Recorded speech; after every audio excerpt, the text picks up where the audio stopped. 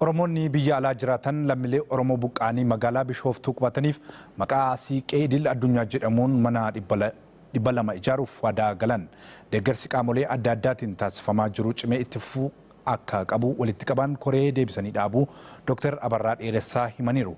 Gabaasni kan waajjira dhimmoota kominikeeshinii bulchiinsa magaalaa Bishooftuuti qindeessa taamiruu akka nutti qindeessiteetti. Lammiilee Oromoo naannoo Sumaalee Itoophiyaa irraa buqqa'aniif dhalattoonni Oromoo biyya alaa jiraatan magaalaa Bishooftuutti mana dhibba lama ijaaruuf maqaa siiqqee idil addunyaa jedhamuun waadaa galan. Magaalichatti dhalattoota Oromoo biyya Ameerikaa jiraatan bakka bu'uun kan argaman aadde Obsee Luboo mana ijaaruu qofa osoo hin taane amma isaan of danda'anitti deeggarsa walirraa hin cinne kan taasifamuuf ta'uu dubbatan. Abbaa warraa dhibba lama kan qubachiisu mana balbala dhibba lama kan qabu ijaarree namoota bakkeetti hafan kanaa deebisnee dhaabuufi.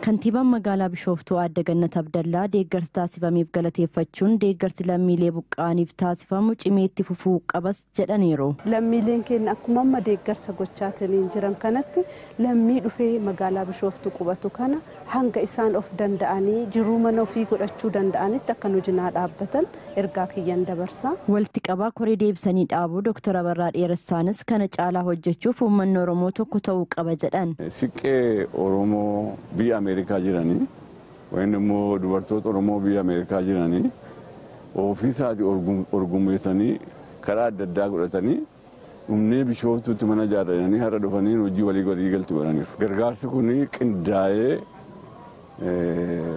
kallattii tokkoon deemuutu jira jennee yeroo hundaa ibsineerra yoo akka goonee tokko taanee wal hubannee tokko taanee wal gargaarre malee gargaarsi adda addaatti iddoo adda addaatti faca'ee bu'aa baay'een buusu. Maallaqa uummata keenya buqqa'aniif walitti qabamu karaa nama dhuunfaa osoo hin taane karaa koree beekamtii qabuun ta'uu akka qabus dhaamaniiru.